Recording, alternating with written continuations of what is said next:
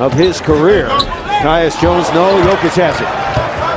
Jokic 55 double. Oh, what a pass to Harris! Oh, yeah. Vintage Joker, vintage Harris. Yeah, just on the dribble. Sarge never saw the ball.